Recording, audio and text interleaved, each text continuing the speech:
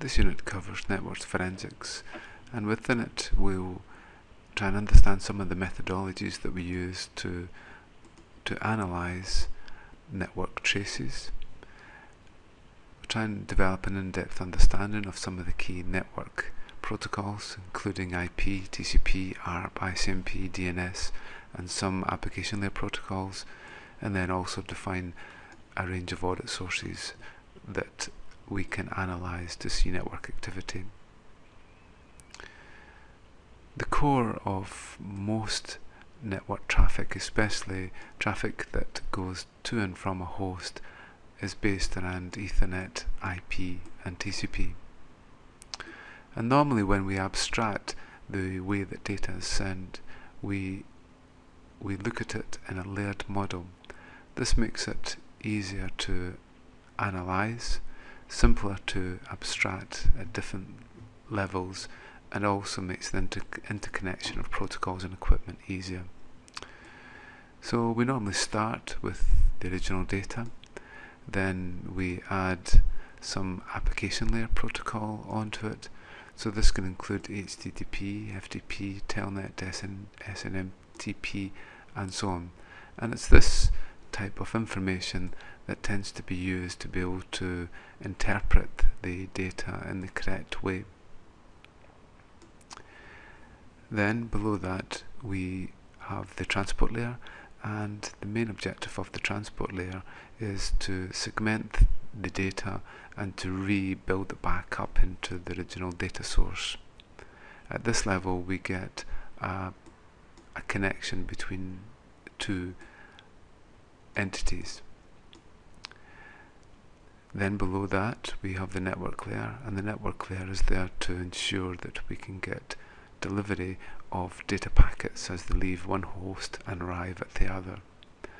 Then we need to encapsulate the this network layer or data packet in some format. So we typically add a header and a trailer onto it and wrap it with inside a data frame. So the most popular data frame is an Ethernet data frame and this represents the data link layer. Then we transmit it using layer 1. Often when we view the traffic on a network we view in different levels of abstraction. So we could look at the local network traffic within inside the Ethernet layer, the data as it's transmitted across the internet, within the IP layer, the data that's transmitted between two application programs and the TCP layer, and so on.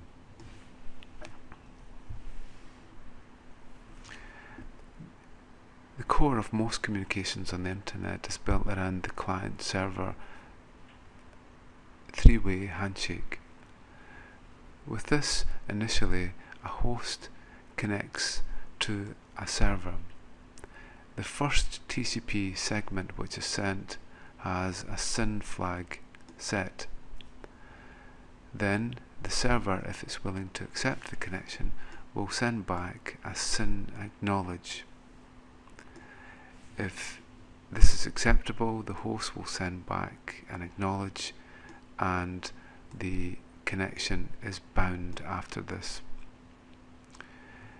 the key parameters involved are the ports, the TCP ports on either end.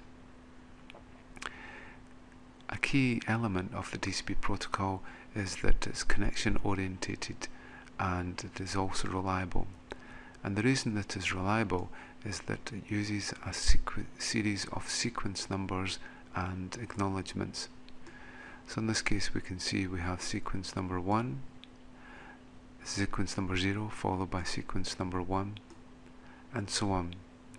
Over here we have sequence 1, sequence 0 followed by sequence 1. The acknowledgement is sent back from one machine to the other to see the next data segment that it expects to see.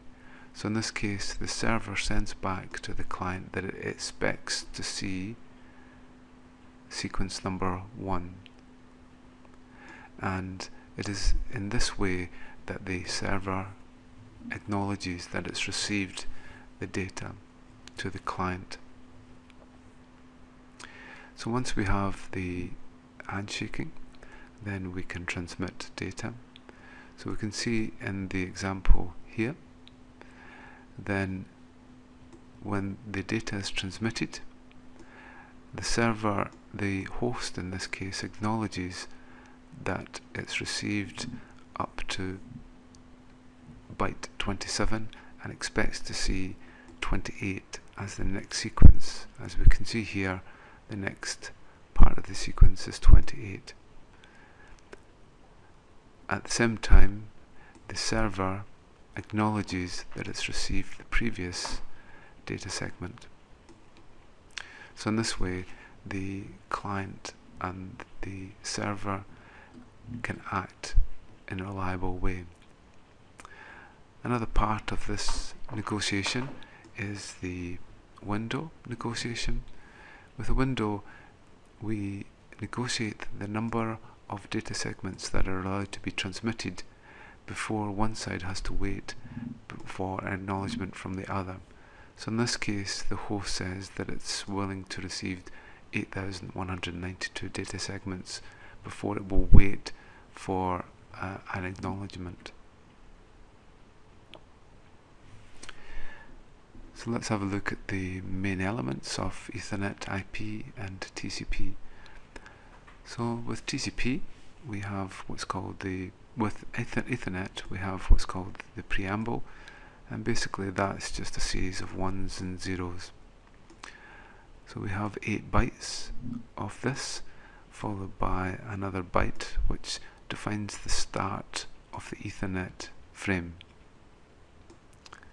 Next we have the source and destination physical addresses and these are 6 bytes long and the true strength of Ethernet is that it can carry many different types of layer 3 protocols. So if we have hexadecimal 800 which is 1000 and then 8 zeros then identifies that the next thing that's coming with inside the data is an IP data frame. If it's 806 hex, then it's ARP, and so on. So Ethernet can carry a number of layer 3 protocols within inside itself. Then at the end we have a checksum. For the IP header, we have the version number, so typically this will be version 4 which looks like this, or it might be version 6 which looks much different. Then we have a type of service, the identification, time to live, and the protocol field. And it's the protocol field which will define what layer 4 protocol is coming next. So if this is a 6 then it's TCP, if it's a 1 then it's ICMP. After this we have the two 32-bit source IP and destination addresses. The TCP field, the main two parts of it are the ports, the TCP source port and destination port, and we can also see the 32-bit sequence and acknowledgement numbers. With inside here we see the flags such as SYN, ACK, FIN, push, reset and so on. This contains the window here.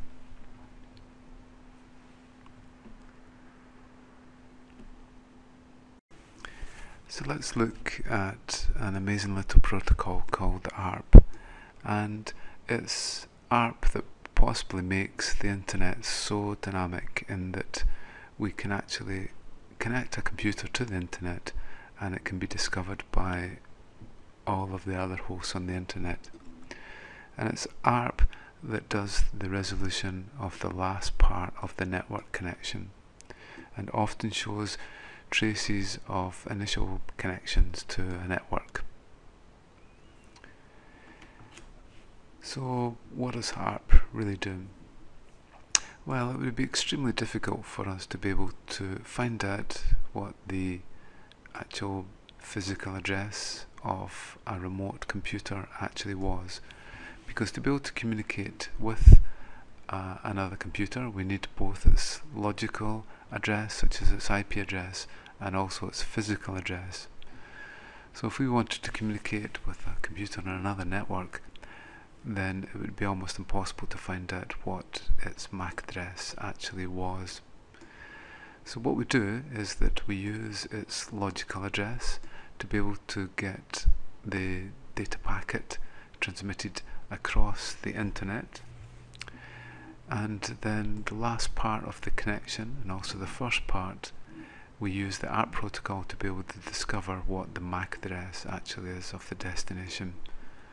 So in this way a host here can find out the gateway and communicate with it and then routers in between can then route the data packet based on its logical address until it gets to the last part of the connection and then it is up to ARP to be able to resolve this last part and to be able to produce the final delivery of the data.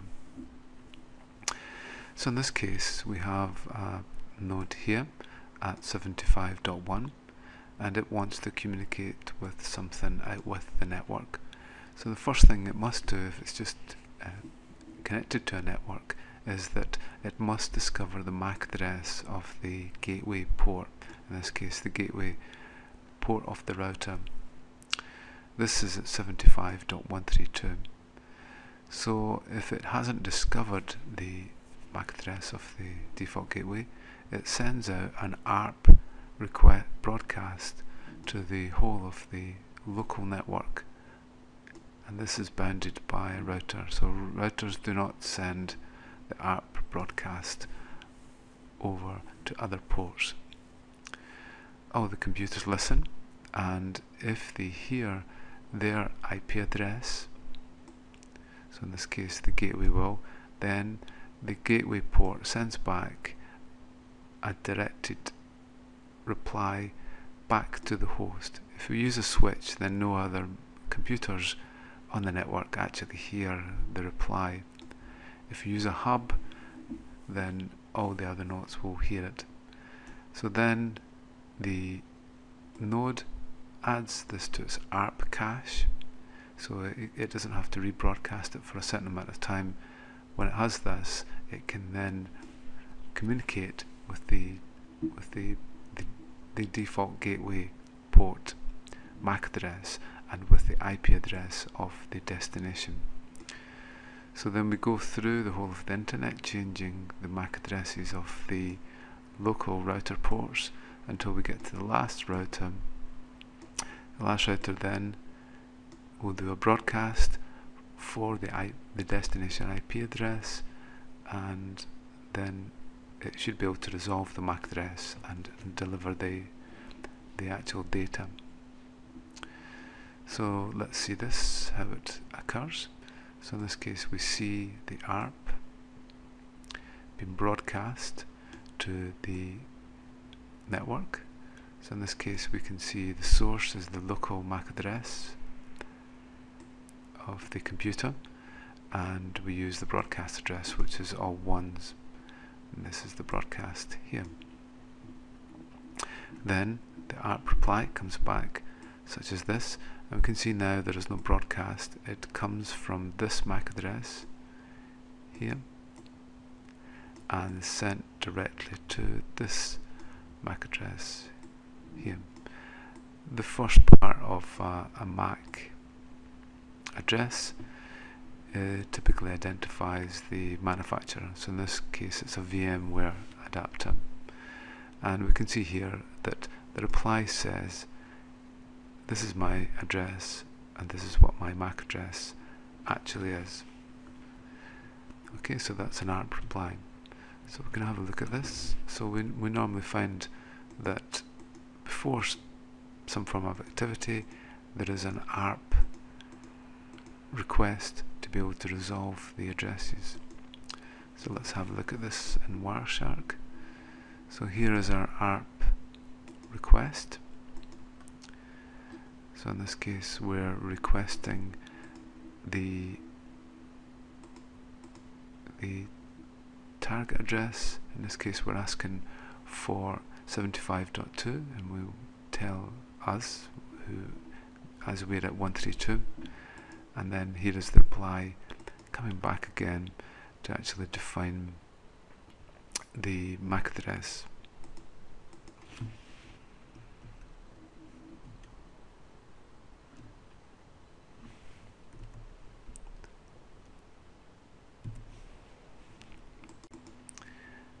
Another key element that we have with inside our network traces is the trace of a SYN flag with inside the TCP packet and this often shows the start of uh, client-server communications.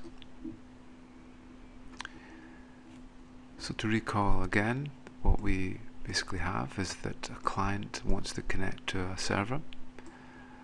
The server waits on a certain port, TCP port. So the client sends a SYN on the port it wants to use to the server port if the server accepts it, then it sends back a SYN-ACK to the client, and then the client sends back an ACK, and this is defined as the three-way handshake. So here is the trace. So you can see here that this is the source sending to the destination on TCP from its own local port, which in this case has been identified as 3655 which has been given a name there and that gets connected to the FTP port with a SYN, a SYN flag. So we see here that uh, the sequence number is set. So the reply comes from 132 back to dot 1 and comes from the FTP port back to the 3655 port with a SYN-ACK and this way the server is saying that it now expects to see data segment 1 next. After this, we actually see data segment 1 coming from the client and we see an ACK coming from the client to the server. So this shows the three-way handshake. So if we have a look at one of our traces. So this shows uh, an example of SYN, SYN-ACK and ACK. So in this case we're connecting to the telnet port. So just have a look at that in Wireshark. So our connection happens telnet we have SYN, SYN-ACK and ACK. So we can look at the detail of this. So here are our flags.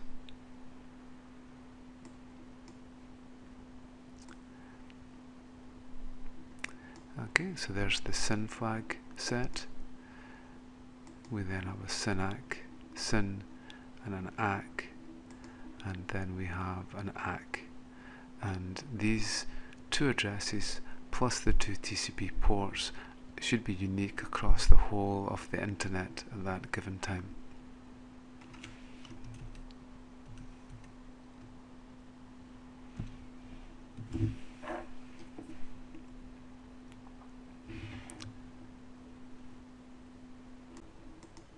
So now let's look at an example of an application protocol. And the one thing to remember about many of these application protocols is that they were developed at a time when we had a simple terminal which connected to a mainframe. So many of the commands were actually typed in manually and then a response came back. So application protocols such as FTP, HTTP have all grown up from this original teletype model. So we'll see a lot of commands that look as if they've been typed in. So with FTP, uh, we connect to port 21. So after we've connected, we can then use one of our commands. So the commands include ASCII, binary, bye, change directory, get, and so on. When we send these, we get a response, which is a numeric response that comes back. So codes that have that are between 100 and 199, our request action has been taken. Has been taken. 200 codes mean that the action has been successful, and and so on. So examples are 200 means that the command is okay. Uh, 202, the command not implemented, and so on. User logged in is 230. A password required is is one of the 200 codes. Entering passive mode is 227. So an example interchange. So once we connect, we'll see the 220 message coming back to say that it's now ready. So the first command that we can send is, is we define the user. So now we need a, well it's actually a 300 code. 331 code defines that a password is required. Feed in the password and if it's successful then we get a 230 code which is that the user has logged in. Syst will show what operating system we're using, so in this case it's Windows NT. PWD shows the present working directory, which is the top level in this case. And then many FTP systems use passive FTP. With passive FTP, we can actually see what the the the server IP address is, and as we'll see, also which port it's going to open up for the communication. So port 21, the connection port is only used for the commands and responses.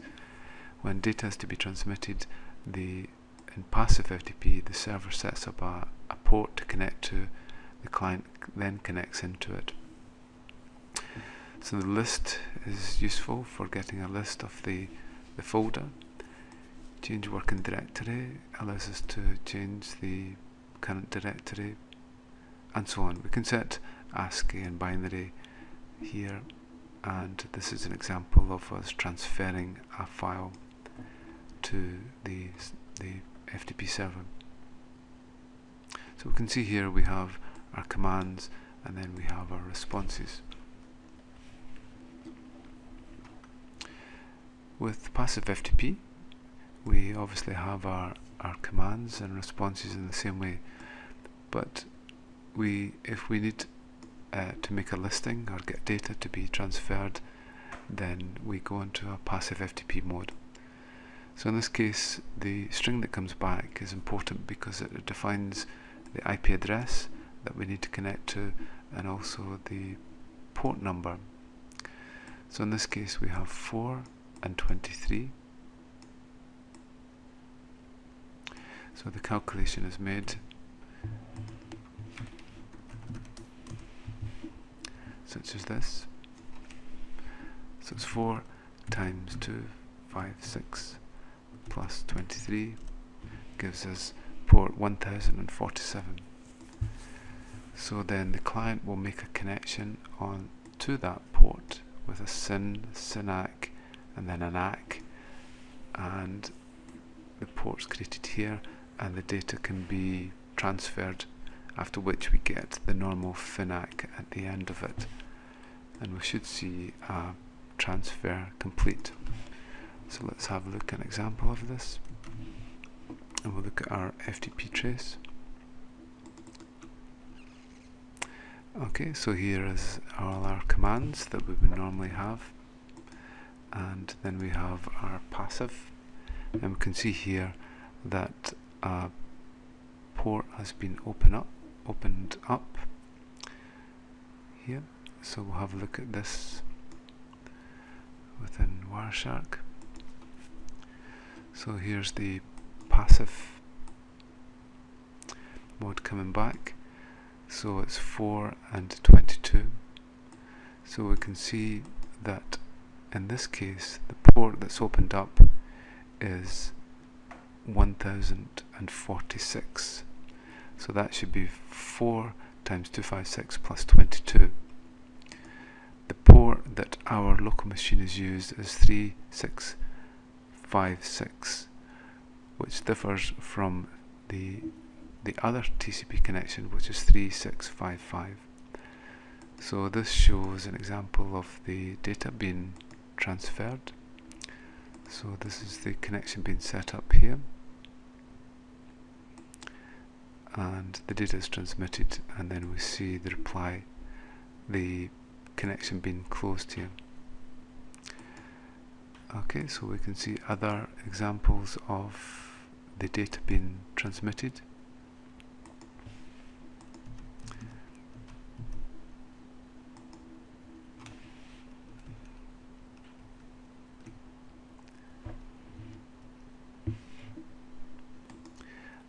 that can be used to discover the host that connected to network or the routes that the that the data takes is ICMP.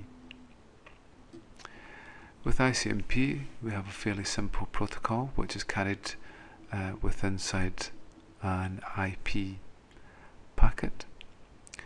So in this case what we have is that we have a request an ICMP request type 8 which is an echo echo request. Has a certain sequence number so that we can match up the reply when it comes back. And the data we typically see is EBC, D and so on. So when a ping occurs, uh, an ICMP 8 echo request goes out and then we get a 0 echo reply. And again as we said the sequence number matches up that if we can match up the sequence number and we measure the time it takes between sending and receiving, we can measure the, the latency between the, the two machines. Okay, so let's have a look at an example of some ICMP.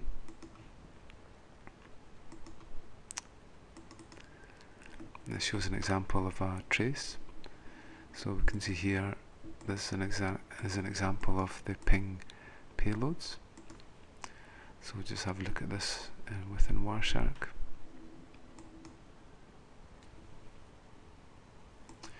Okay, so here we are, and we can see we're using Ethernet and IP.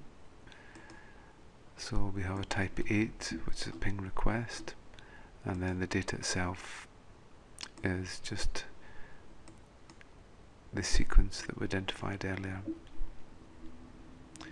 This is the ABCD and so on. And then we have a, our reply. So in this case it's a 0 and we can identify the sequence number that's coming back again. See the next one is a sequence 18, 19 and so on. So this allows the the actual requester to match the replies as they come back. What we have here is hexadecimal representation of the ASCII characters. So 61 in hexadecimal is 01100001, which represents a lowercase a.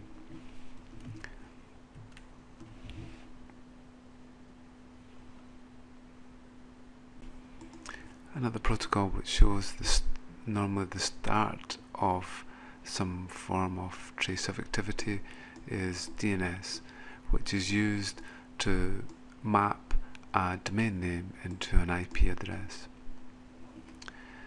So the way that it works is that uh, a local machine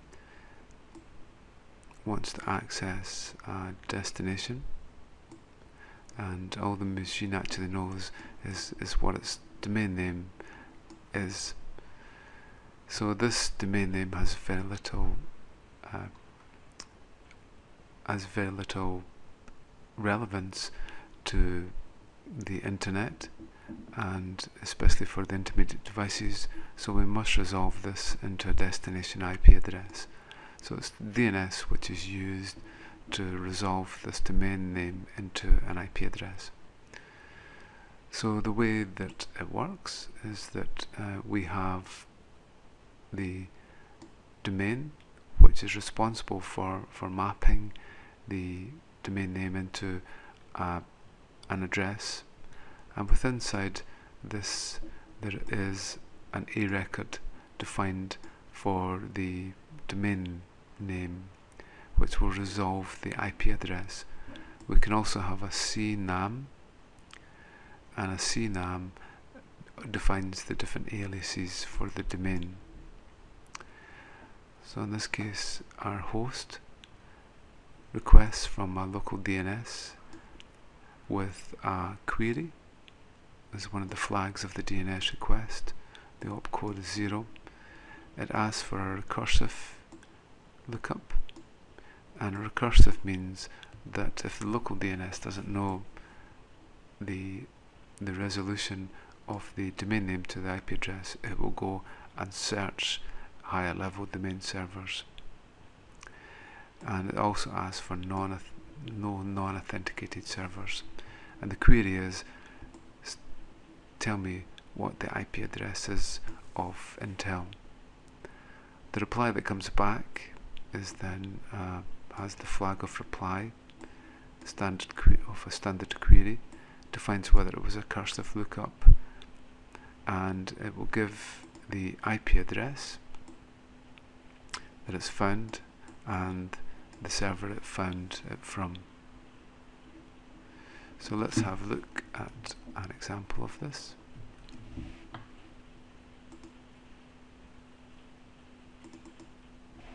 So here we have our, our DNS lookup. So port 53 is the destination port which is used. So we can see here communication going back and forward between the DNS server and the client.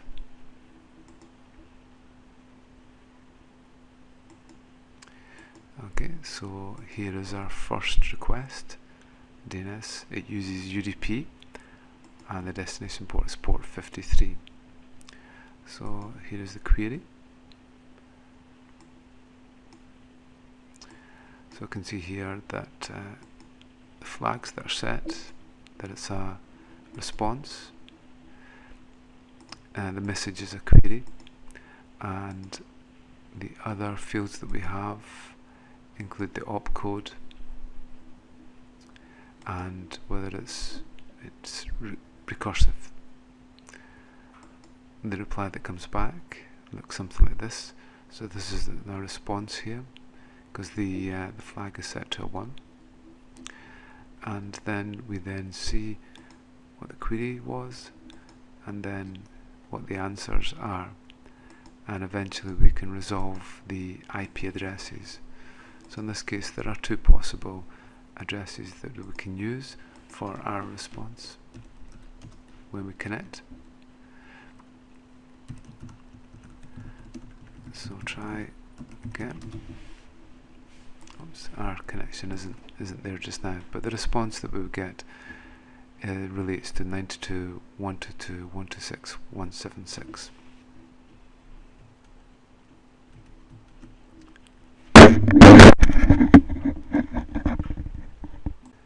One area that we might see malicious activity is with uh, port scan.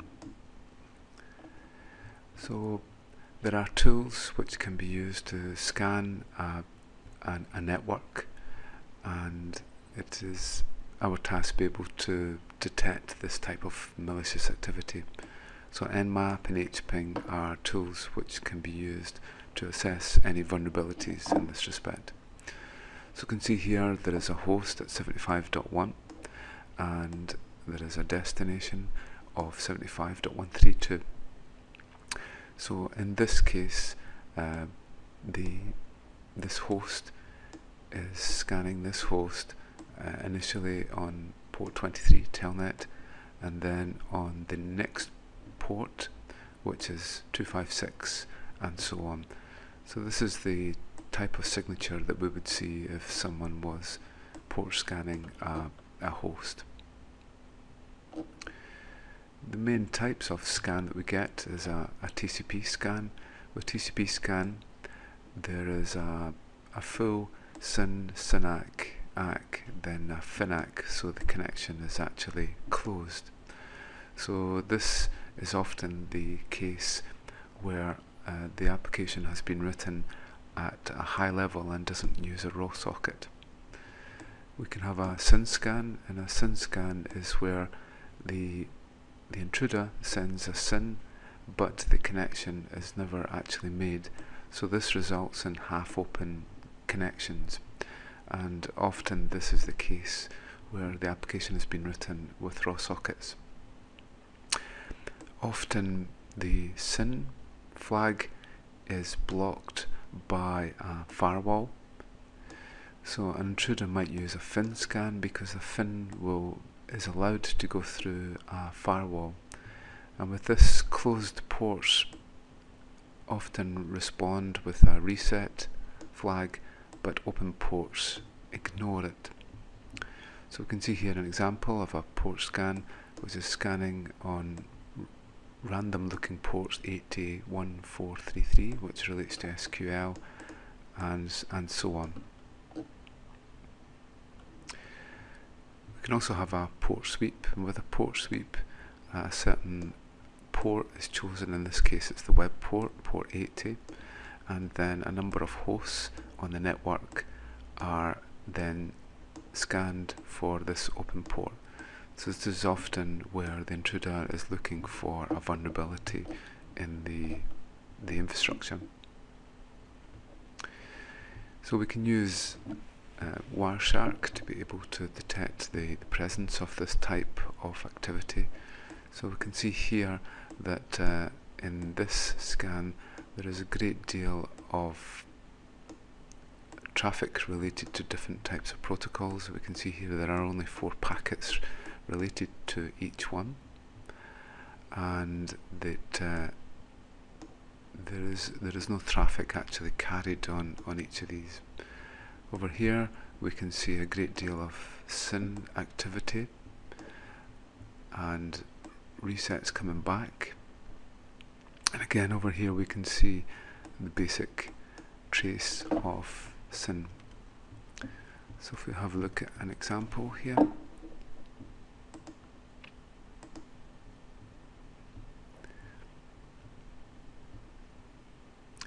So we'll have a look at uh, this one. You can see here there is the trace of a SYN on port 80. So let's see if we can find an nmap one. It takes a little minute to, to load it. So this, there's a great deal of SYN activity down here. So it's port all 8s, then 23, 256, 993 and, and so on. So we can have a look at that within Wireshark.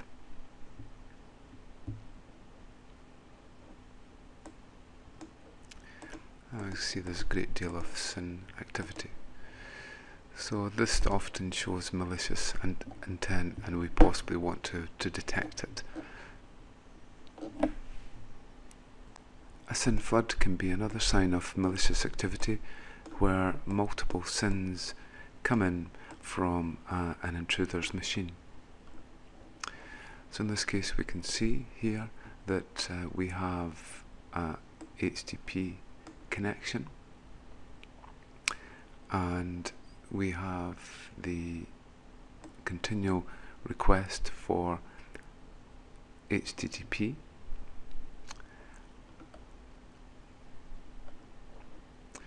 so with this we we can get uh, a denial of service if an intruder continually tries to access on a certain port or we can have a distributed denial of service where there are many hosts distributed across a, a network. An intruder will often try to cover their tracks, so we must be wary of spoofed MAC addresses and spoofed IP addresses. So in this case, intruder sits at 192.168.75 but has spoofed his IP addresses to look as if they come from 10.0.0.1. So it the IP protocol itself does not have any integrated authentication of the actual IP address of the machine. The same goes for a MAC address. It, uh, it is often fairly easy for an intruder to be able to spoof this, this address and send Ethernet frames from another node.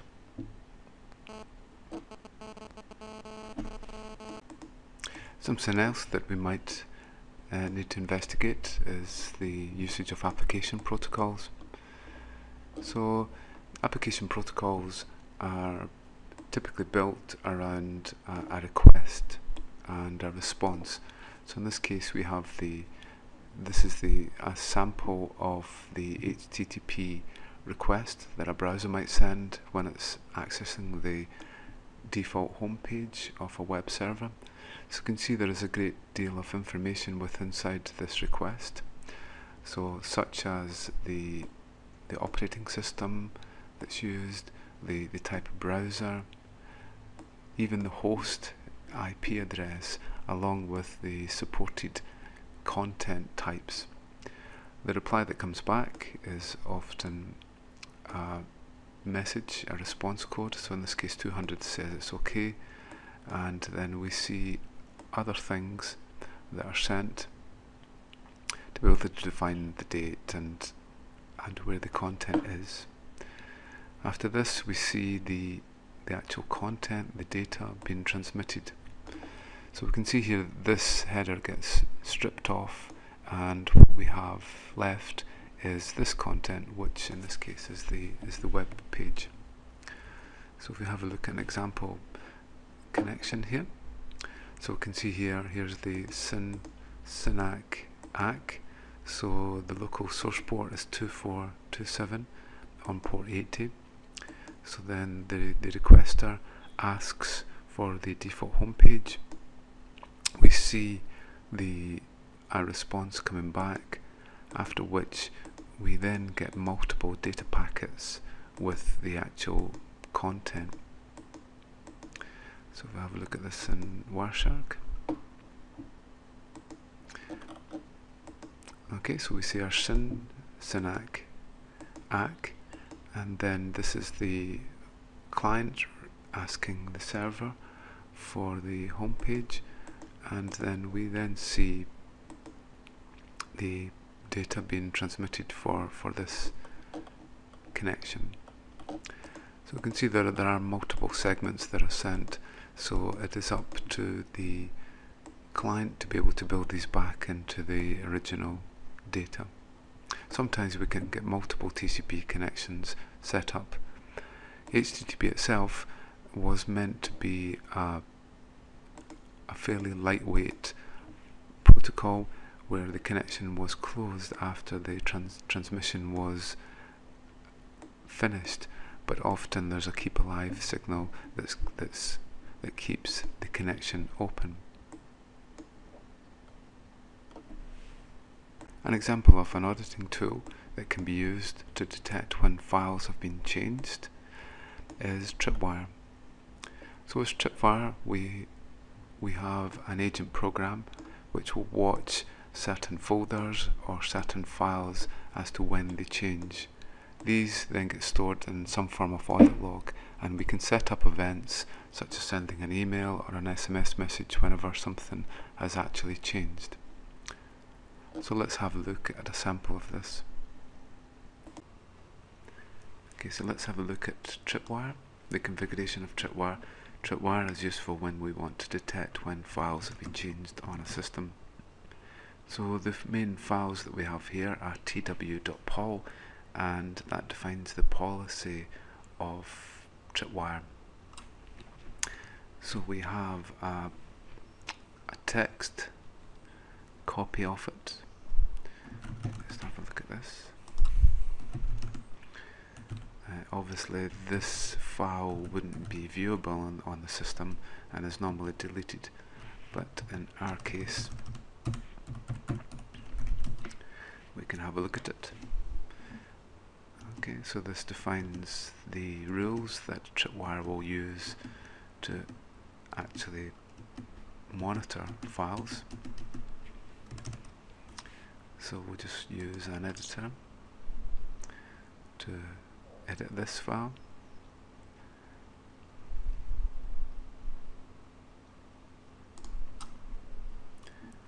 use gedit and we've got it already stored there as a recent file. So the rules which have a hash in front of them are ones that have been commented out. So these are standard rules that Tripwire would normally look at, such as watching the files in the S bin and the bin. And security bin are binaries that should not change. These should be read-only. And then we see the, some of the boot files, the lib folder. Again, these are binaries that shouldn't change. And what we'll do is we'll, we'll modify the password file in, in the etc folder. And these are configuration files that shouldn't change. So we've commented out quite a few here. Anything that happens in this, the etc folder will be monitored Um, and then down here any changes to these directories home temp user var and var temp should also be monitored. Okay so we'll keep it as it is. And what we do first is we take the text file and then create it as our POL file which is an encrypted file with our policy so in this case we're taking our text file, we have some encryption keys stored and then we're compiling it into our policy file tw.config and we need to put the the super user password in here. So we can see here that we now have tw.pol next thing that we do is that we create our database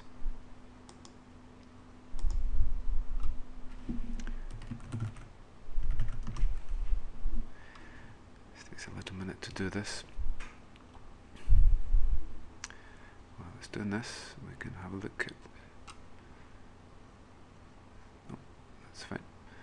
Okay, so it's now got a database, and what we'll do is that we'll go and change one of our files. So let's say we change the ownership of the password file to Napier.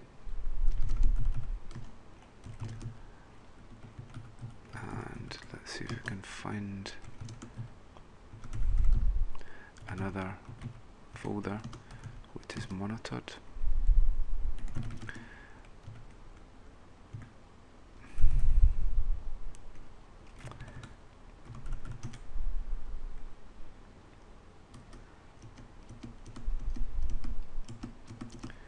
I think these are at the bottom somewhere so let's go to slash temp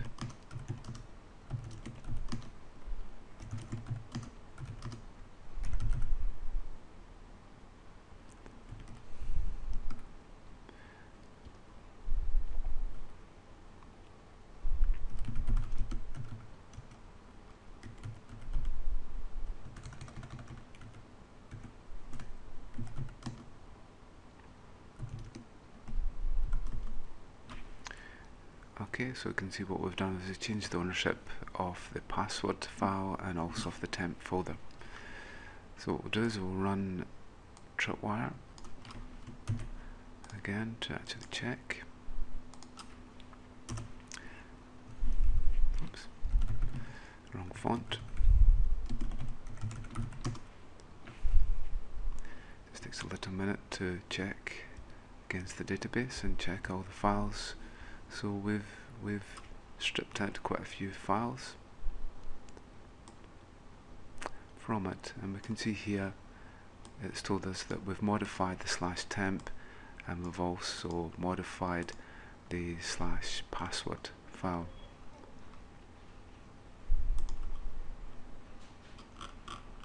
Okay so our error report defines that uh, we have one invariant directory and we also have a change in one of the security control files.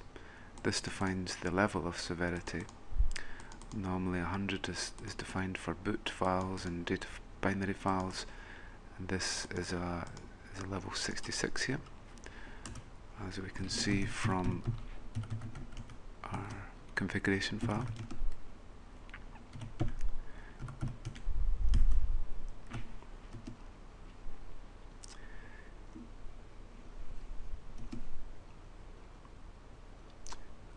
96 is a medium criticality, crit, crit, criticality and 100 is significant points of vulnerability.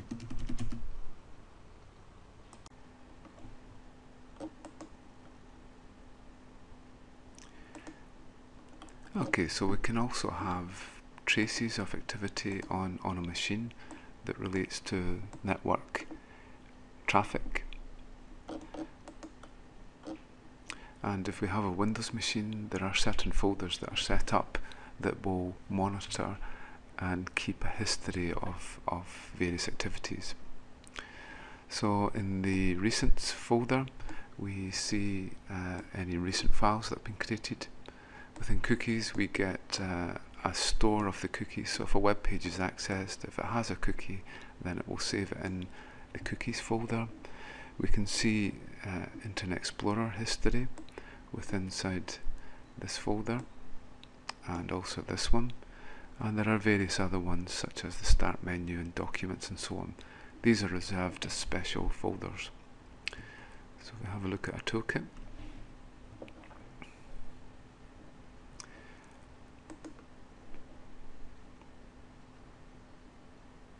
So we can actually look at uh, the previous history of, of URLs.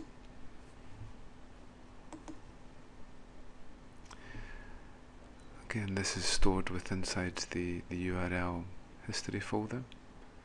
There are a number of special folders that we might look at uh, in terms of an investigation. So we can have the recent folders, we can look at the cookies. So in this case there's quite a few cookies in here. So it just takes a while to, to scan the folder.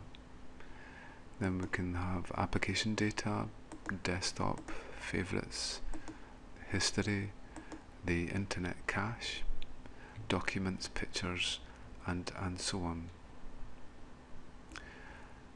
There can also be hidden folders on a on a system. So you can see in this case there is a hidden file here.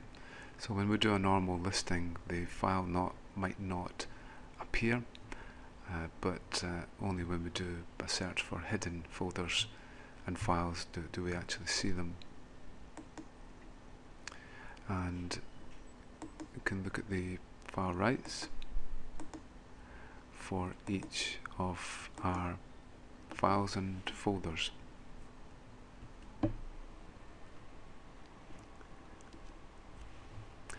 Okay, so that that concludes the presentation. So hopefully it's given you an understanding of some of the methodologies that we might use in investigating uh, network traffic, a deeper understanding of some of the key protocols such as IP, TCP, ARP, ICMP, DNS and a few application layer protocols and we've also investigated some basic audit sources to determine network activity.